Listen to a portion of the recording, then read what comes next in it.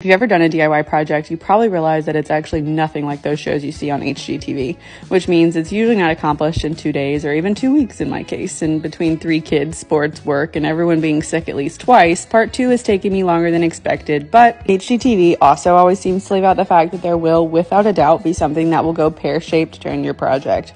For me, it happened to be the fact that I had to replace the drywall behind the stove, which is something I have actually never done before. There was a temporary moment of panic when I saw my walls crumbling, but thank God for YouTube because that's where I learned everything.